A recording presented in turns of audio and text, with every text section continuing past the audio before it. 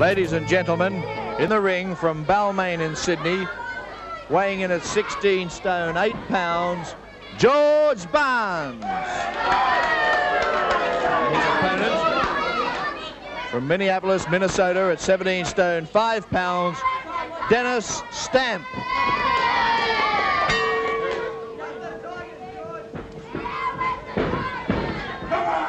Into center ring.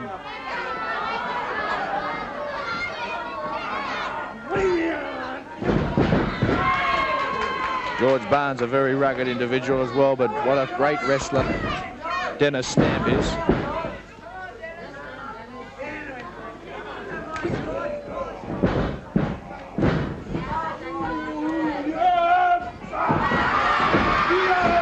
Well, I'm afraid that George Barnes in trouble as his arm dragged heavily to canvas.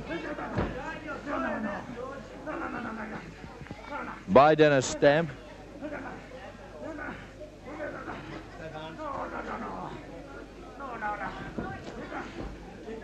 Under the impression that we are going to see Parisi against Barnes, but uh, this will soon test Dennis Stamp out. George Barnes is one of the best wrestlers in Australia, the local boys. A very great wrestler indeed. There was a hammerlock applied by Dennis Stamp on George Barnes.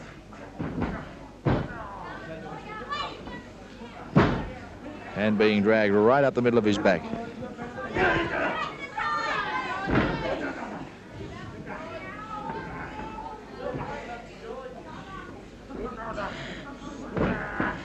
Hammerlock still applied by Dennis Stamp. Dennis Stamp, as I mentioned to you, an all-American football star and wrestling star, 26 years of age. A great wrestler. Whoa, goes for an arm drag with the shoulders at Barnes had collided. And Dennis wasn't in a position then to get as he put it on to George Barnes then and sent Barnes flying to canvas.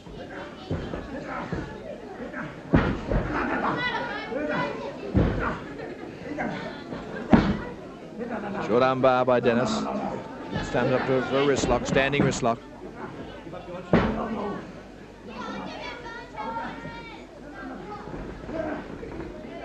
Oh, pulling that arm of George Barnes well down onto canvas. He's a strong looking fellow, this Dennis. Big thighs.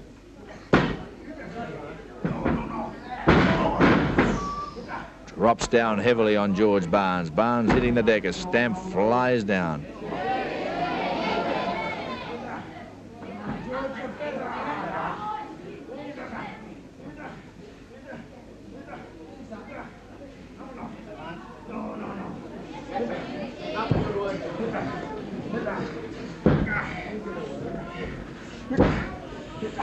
Through the wrist lock, Dennis has got a good thing and he's sticking to it.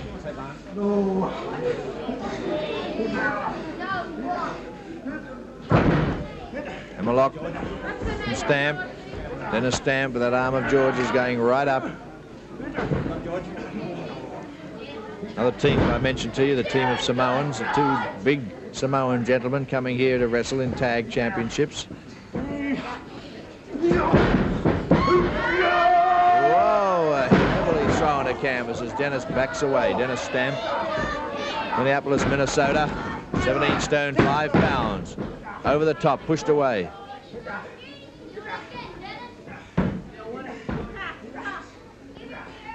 Wrist lock from Dennis Stamp. Over go, goes on George Barnes, twisting that arm right over.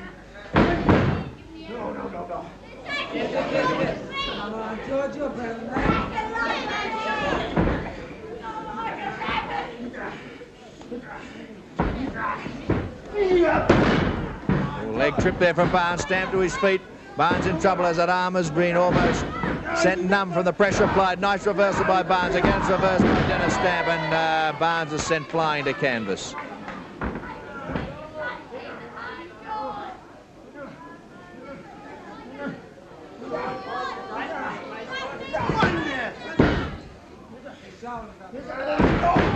And down he comes heavily across the forearm of George Barnes.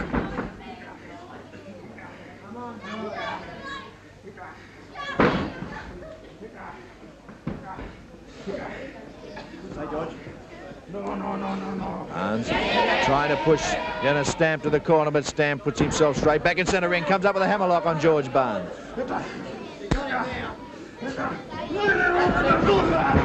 Backseam Barnes sends Dennis flying into the turnbuckle using the weight of his own body as he, Dennis went heavily into the turnbuckle. Kick the midsection right in deep on Dennis Stamp. George Barnes back again. Irish Whipman sends that into the turnbuckle. He comes reeling from the turnbuckle, Dennis.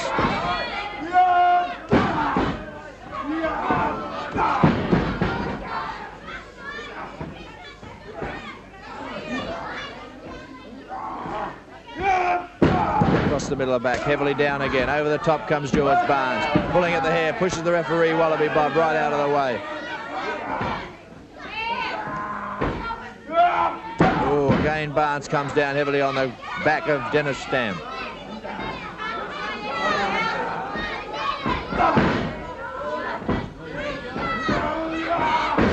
Off the ropes and oh, a knee lift from Barnes and Stamp hits the deck. The old Balmain boy and George Barnes. The Tigers are on the warpath here.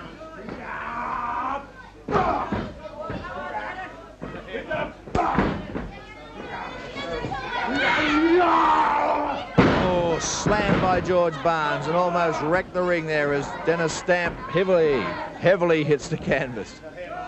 Irish whip. Barnes and Dennis into the turnbuckle. His back of his is taking a pounding.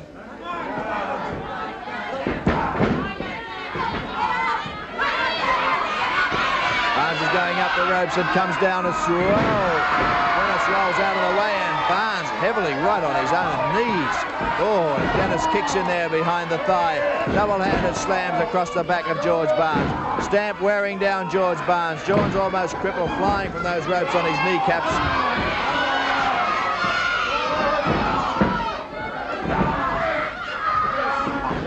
Irish whip from Dennis. Over and up and over goes George Barnes. Oh, heavily He's come down a few metres then and comes in again with a forearm jolt. Takes him over and feels him straight across the ring. Up he goes for a drop kick, sending Barnes flying. This boy really flies this Dennis Stamp. He's full of activity.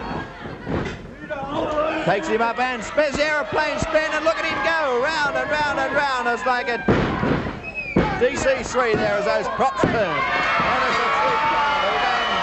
victory for Dennis Stamp over a very rugged opponent, a great wrestler in George Barnes. The aeroplane spin of Dennis Stamp.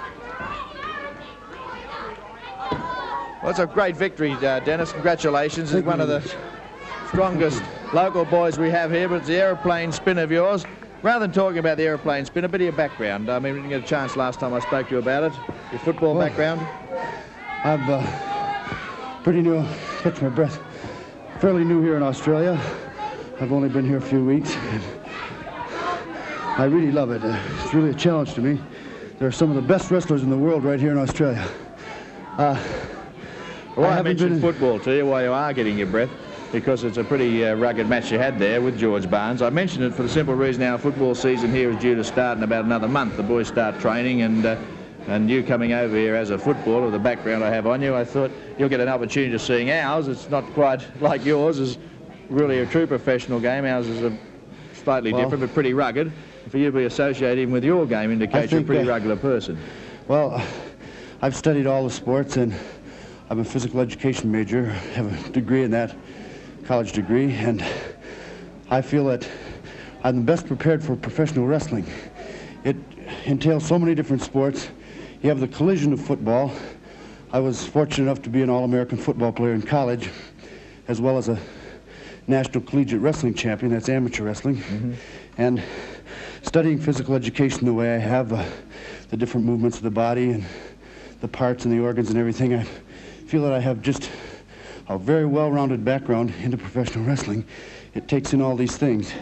There's an awful lot of collision in the ring, two men 250 pounds plus running into each other and I have a feel like I have a great ability to take a lot of punishment and still be able to come back. I this man I just wrestled, he's a very formidable opponent and he had me at one point he had me down pretty far. Well, a lot of men I think he might have beaten. I just had enough left. He made one mistake. I came back. I got a little break there. I came back. I was able to get him in the airplane spin and if I can get a man in the airplane spin, I can beat him. Sure. If any man I feel that I can get in the airplane spin, I can beat, I can come out on top. I enjoy being in Australia very much. I plan on taking on all comers, and uh, I may do some.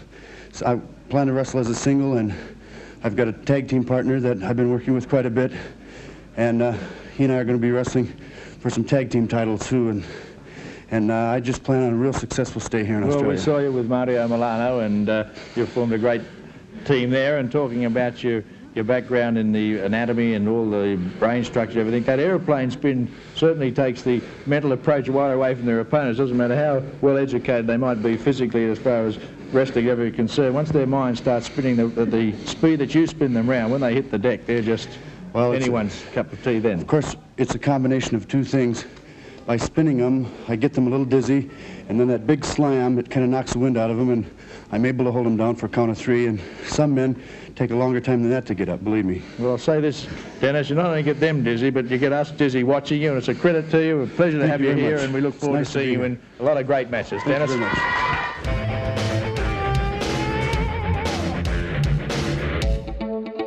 To describe my style, I was a wrestling heel. If you know what a heel is, a heel is, you know, like a bad guy in wrestling. You know, like he's, he's sort of, um, he does a lot of dirty things, but you know, like uh, which I did anyway. I was always, you know, like sneaking behind the rest back and doing anything I could to win. But I did a lot of wrestling. A lot of my wrestling was involved in it, and I sort of like blended the two together, so to speak, to try and get the best result that I could. And I think it paid dividends. I, I you know, I really liked that style.